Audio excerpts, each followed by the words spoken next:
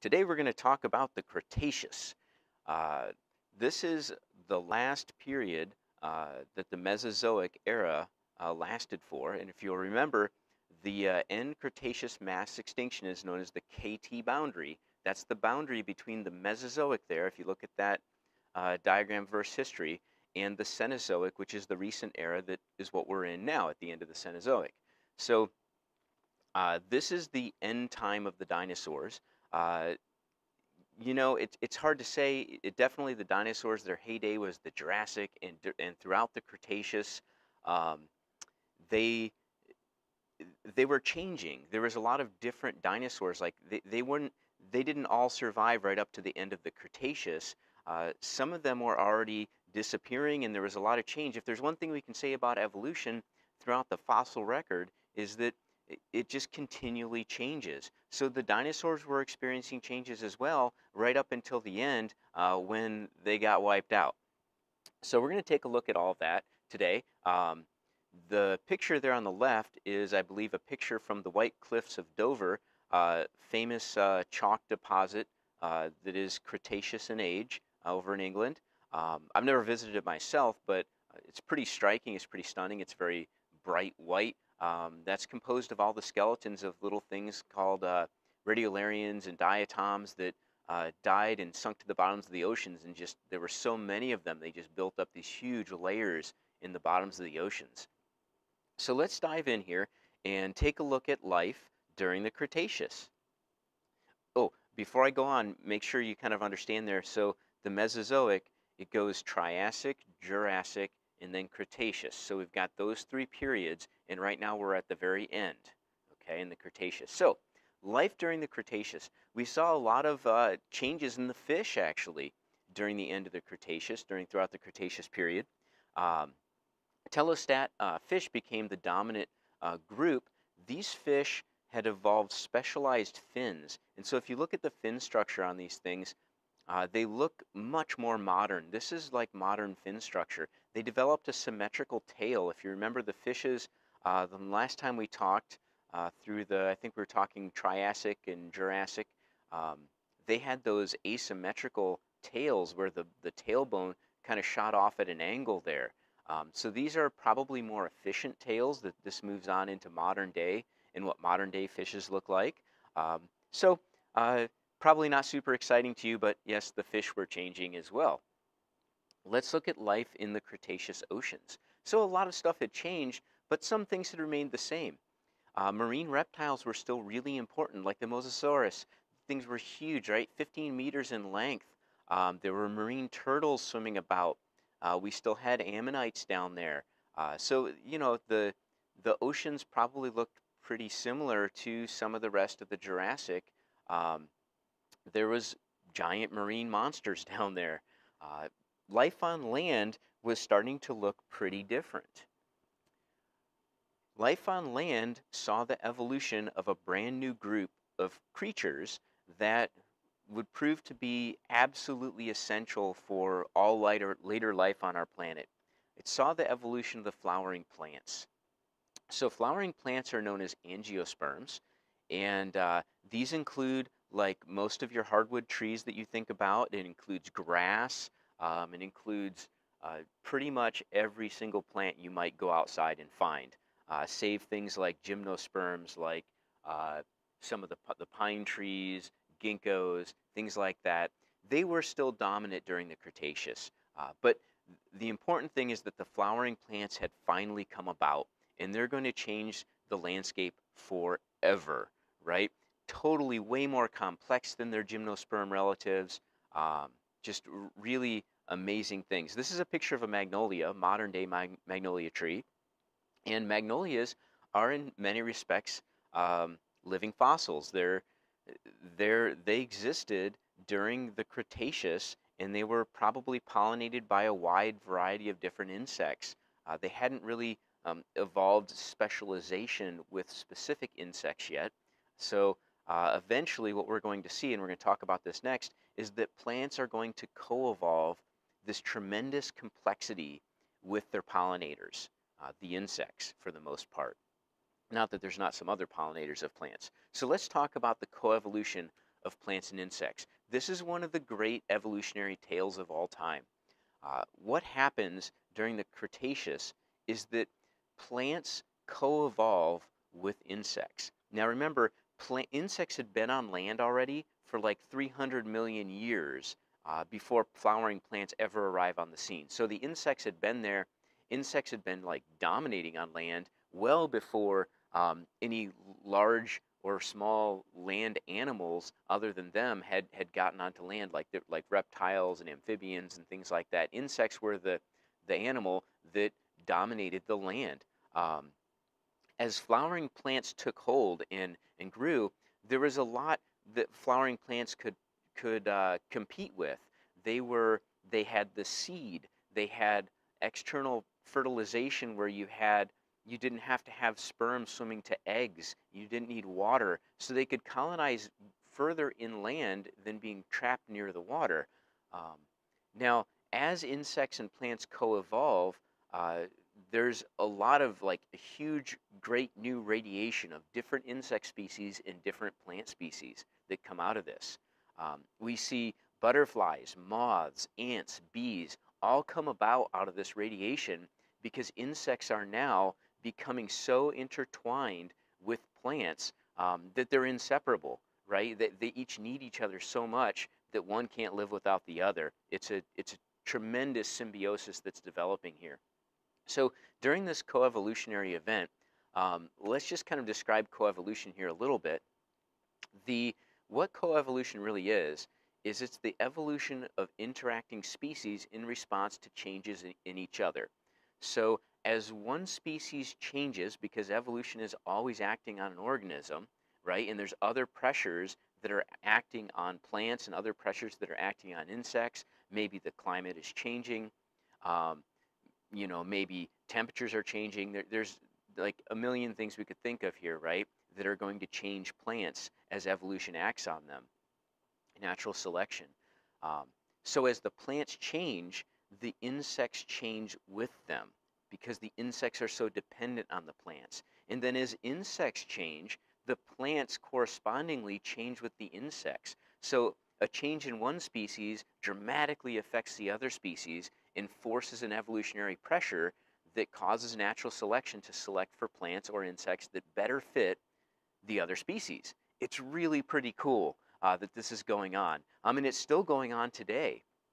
So, uh, like I said here, many flowering plants have deeply co-evolved with specific pollinators to the effect that a plant can't even be pollinated unless a specific insect actually exists in its area, like the plant's done for, right? And then there's specific insects that are so specific to a specific plant that they can't themselves survive unless that plant actually exists in their environment. So that's how detailed this has gotten.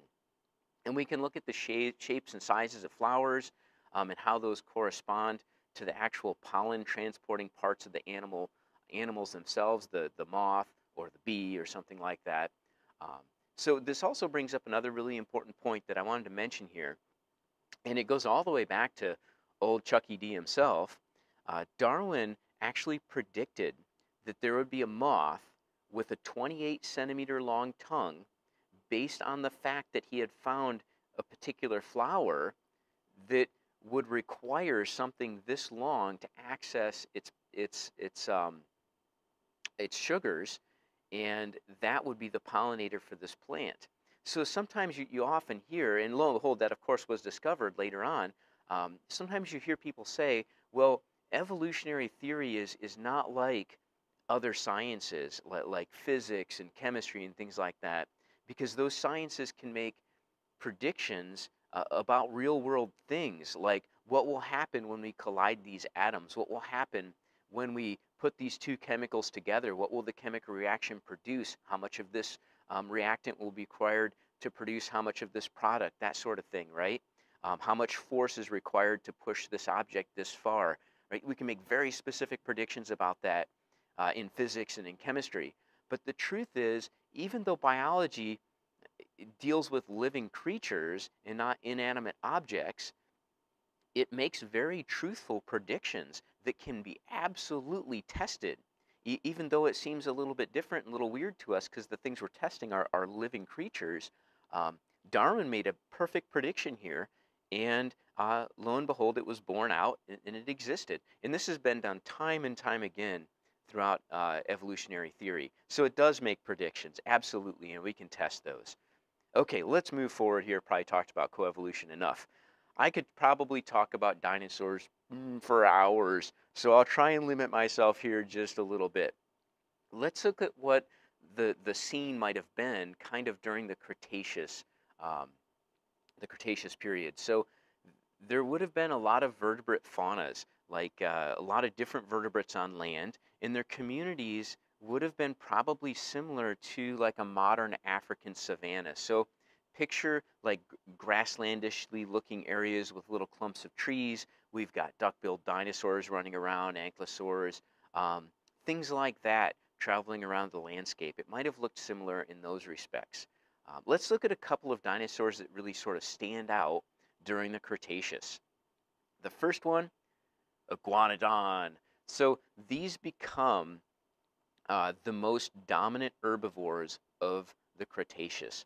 Uh, the sauropods, those gigantic monsters with the big long necks uh, that, that looked like they would lumber around but were probably uh, quite decent at walking around on land, th they're declining. So those big monsters are kind of going away, and the new, uh, the new one that's going to become the dominant herbivore, the thing that eats plants of this time, uh, is iguanodon. These things get up to like 33 feet long and weigh somewhere around like three tons.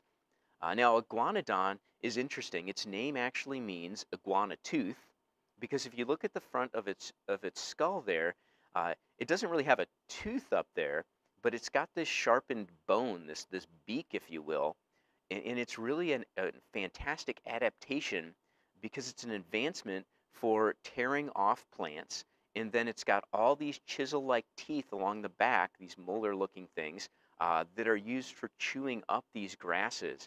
Uh, it's got it doesn't have teeth at the front. It's got this bony-like pad sort of thing, like a sheep does. Um, so it's it's very evolved to specifically eat uh, the types of plants that are growing during the Cretaceous.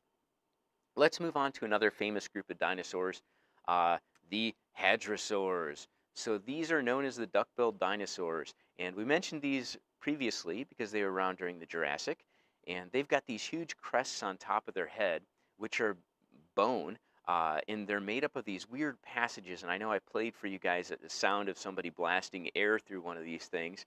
Uh, we don't know for sure exactly what they sounded like, but we do know that these things made noise. Uh, the the Cretaceous was probably really noisy. Uh, we've got these giant monsters running around, trumpeting noises out of the tops of their skulls. Right? Um, it was probably pretty noisy. Uh, so you can see the, the direction of airflow here in, in the diagram. It would draw air in through its, its mouth, uh, into its lungs, and if it expelled the air um, up through its nasal passages, the, the air would go through this crazy trumpeting tube-like structure and out its nostrils, uh, creating, no doubt, quite the sound, right? So the hadrosaurs, duck-billed dinosaurs, really cool looking. Other life during the Cretaceous. Well, some things that we definitely would recognize from before, right? Good old T-Rex was around. No doubt T-Rex had feathers at some point during its life. We mentioned that previously. Uh, I think we found uh, black actually was the protein color that they decided uh, they found on some very young um, T-Rex uh, fossils that they discovered. So we have direct evidence. We also have a lot of other inferential evidence uh, to tell us that T-Rexes probably had feathers. So this drawing here could be totally incorrect. Like that thing could have been completely covered in feathers. Feathers do not fossilize well at all. You can imagine they're, they easily decompose. It's a hard thing to get a fossil of. Versus bones, of course, very easily fossilized in comparison. Uh, we still had flying vertebrates. Uh, we had reptiles up there, right? We had the birds up there. So birds are around during the Cretaceous. Um, let's look a little closer at the group that T-Rex is a part of. These things are, are known sometimes as the sickle-clawed meat eaters. So a sickle is a, is a device that farmers, ancient farmers used to use for uh, harvesting crops and grasses and things like that. It's a big hooked, sharpened thing. So if you look at the, the toes on this monster, my gosh, look at the, got this big hook shape, right? Why did that evolve? That was specifically for disemboweling prey. So if you if you have a cat at home, you have great experience with this. Have you ever attempted to pet your cat's belly like maybe more than twice, right? You know what disembowelment is if you've done that because you get like two pets and then the third one it's game over. The cat digs its front claws into your into your arm, bites down on your arm. This is like near universal, so I'm I'm certain you've probably experienced this. And then the back legs come up and they start just clawing the crap out of your arm, right? So you could picture T Rex doing something similar, biting down on its prey, right? Uh, maybe at the neck, and then reaching those back legs up and just shredding it with these these sickle-celled claws that it's got, right? Um, and there's a lot of other dinosaurs that are part of uh, T-Rex's group. There's uh, Allosaurus. Oh, T-Rex, by the way, uh, if, if you don't know this, uh, basically means tyrant lizard king. So uh, yeah, right, terrifying creatures. Um, Allosaurus, uh, we've got Baryonyx. Baryonyx um, actually meant a heavy claw, right? It had a had a one foot long claw on its thumb in this crazy crocodile like head. Uh, so some of these claws were big, right? like really terrifying.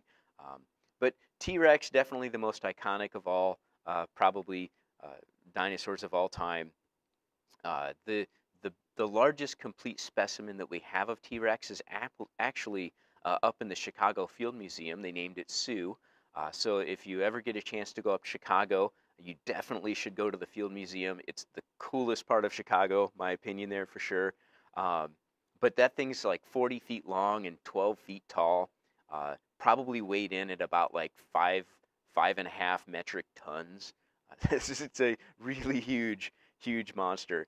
Um, but yeah, like I said, we've got tremendous amounts of evidence that T-Rex had feathers at least some point during its life, some one stage during its life. Um, we've got, in, in a sense, you could think of it as we've got as much evidence for that as we do that Australopithecines like Lucy actually had hair. Right? It would be pretty hard to imagine Lucy not having any hair, right? Australopithecus. Uh, so, because of course she's a, a, hominid, and uh, all these hominids, uh, uh, uh, primates have hair, right? So, yeah, it'd be pretty hard to imagine that. Other life in the Cretaceous, well, those monstrous crocodiles were still around, and they got humongous, up to like 50 feet in length. These crocodiles got. Um, and, and yeah, they walked around on land. Uh, you could picture something that big uh, going after a T-Rex, right? I mean, they got huge. So life on land, life in the waters, uh, th there were some monsters about. Pretty interesting stuff. Now, during the Cretaceous, uh, I want to take a look at mammals a little bit. Because why? Well, we are a mammal, right? That's why we care. So mammals evolved, and this, this uh, picture goes from the bottom up, if you will. Mammals evolved from the therapsids, which was a, a group of reptile-like creatures. I say that because kind of near the end of the therapsids, they start they start looking uh, part mammal-like, like almost like mammal reptile sort of things, like with the cynodonts there. So the during the late Permian, uh, they mammal uh, these therapsids have this erect gait, and we talked about how important that was for, for locomotion on land. So they're they're they're upright on their four legs. Um, late into the Permian, uh, the therapsids. Remember, therapsids evolved earlier. Uh, there, there, there's like a secondary palate that happens in the roof of their mouth, and you know that we have both a hard and a soft palate in the roofs of our mouths for help with chewing and swallowing food. Um, the arrangement of their toe bones sort of shifts to more of a mammalian pattern of what we have today. Um, later on into the mid-Triassic, uh, so uh, their, their teeth become much more differentiated. They get different types of teeth. So it's, it's not just um, not just canines or, or whatever. They, their teeth start to become more complex. Their jawbone starts to develop into what's going to become our ear bones. Then on into the Jurassic, uh, we see the, the evolution of the first really true things that we would actually call mammals. And these things have a slightly different type of a neck bone. Uh, they've got uh, teeth that now have two roots. If you've ever seen a tooth yanked out of a mammal before, you'll notice it's got two root little stalks on it. So the teeth have become different, much more specialized. And then on into the late Cretaceous, the placentals arrive on the scene, which were placental, right? uh, humans give placental birth. Uh, we don't lay eggs. Uh, we, we don't have a pouch like a marsupial. But those other two groups uh, are still around right? The monotremes and the marsupials are still here. They're more ancient types of reproduction in mammals. Um, and then late into the Cretaceous, we see the brain size start to grow.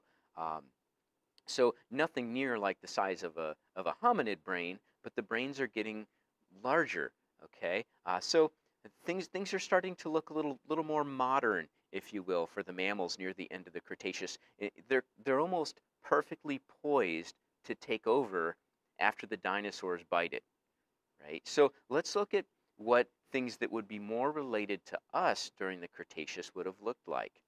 Here is Purgatorius, one of the first fossil primates that we find examples of, and they're around during the Cretaceous, so primates had come on the scene. Uh, these things, what did they look like? This is a drawing here. They, they kind of looked like rats that climb trees. They were these small rat-like looking creatures, probably nocturnal, right? You can't picture something like this probably scurrying around too much during the day uh, because the dinosaur is going to snack on it. So probably eating things like insects uh, up in the trees, uh, but like the primates are, are, are, around on the scene. So the stage is set, right? Let's look at what the Earth itself looks like, the continents. So the continents uh, at the time of the Cretaceous are, are, are pulling apart. Uh, so we had we had Pangea, right, the, the, the all land that came together as the supercontinent. And now, near the end of the Cretaceous, the continents are, are totally isolated. Like they have pulled apart enough that it looks really quite modern, right? The seas have opened up. Uh, the the sea level has risen, so there's not a lot of those little like shallow oceany sort of plateaus that that existed uh, throughout other times. The Tethys Seaway has started opening up, and remember we talked about the Tethyan Sea. Uh, it was an ocean that existed for for much of the Mesozoic, and it's actually a really important ocean because most of our oil mining today that happens out in the world's oceans uh, happens because during the during the Mesozoic there was a lot of these algae blooms, these little microplankton that were that were kind of growing in the Tethyan Sea. In their bodies, when they died, they sunk with the little oil that was in their bodies and and became part of the ocean sediment in a non-oxygen rich environment down there deep in the oceans and uh, when they got compressed and squeezed and buried that became the oil that we now mine today.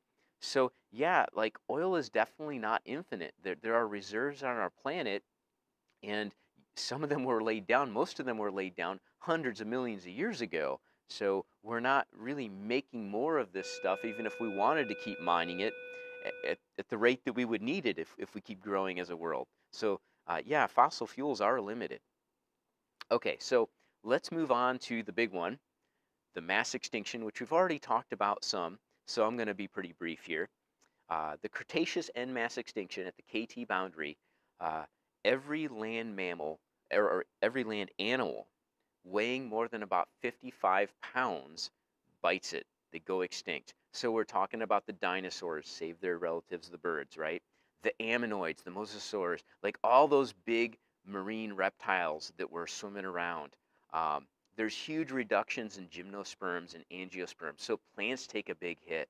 Um, some things do survive, right? We have we have crocodiles that survive through this. Uh, the the wee little mammals survive through this. Uh, lots of different life in the ocean survives through this. The thing that this extinction takes out is all the big critters, whether they're in the ocean or they're on land, uh, they get knocked out. And remember, we said before, large creatures, as it, largeness is kind of a, a, tendency that evolution has uh, to create things that are bigger and bigger and bigger uh, and more specialized. So these larger creatures that required more food and were more specialized in what food they ate, uh, they can't survive rapid climactic change, right? Let alone a nuclear impact, right? But uh, they can't survive the change. So at the KT boundary, we see the annihilation of all these large creatures. We don't see any more above that for a long, long time. Uh, and there's lots of other pieces of evidence for this, uh, and we looked at quite a bit of that already. One of the one of the biggest pieces of evidence is the element iridium, which is completely rare on Earth, but it's very common in meteorites. So to spread a thin layer of this stuff, which is what that arrow is pointing to right there, uh, across the entire globe, uh, definitely had to be some sort of an impact event. I mean, that's a, that's really good evidence that that happened. We're talking about an asteroid like six miles-ish in diameter, traveling 10 to 13 miles miles per second. Thing was really moving, hit us at an angle, blew up this cloud of dust and smoke, blocked out the sun, right? All that sulfur in the atmosphere that came out of the rocks was real bad stuff. Like a force of 100 million single megaton hydrogen bombs. Like this was this was a biggie. And the impact, uh, of course, made tidal waves across the ocean, um, tsunamis more appropriately, uh, sent stuff raining down as far away as Wyoming. We see these little microspherules, these melted globules of glass that rained down and then became buried, and then we can dig them out today. Uh, we, we can look at the actual impact site itself, the Chicxulub crater down there in Mexico in the Yucatan Peninsula. Uh, we, can, we can image it uh, gravitationally and look at the anomalies there, and it makes this beautiful outline pattern of a crater. We can look at those cenotes, which are all the little uh, holes of water that dot the rim of the crater itself because all the limestone got cracked and became rich with caves. Uh, and I showed you a piece of stri striated dolomite uh, from the impact site itself that skidded across the surface of the planet before it came to rest down there in Belize.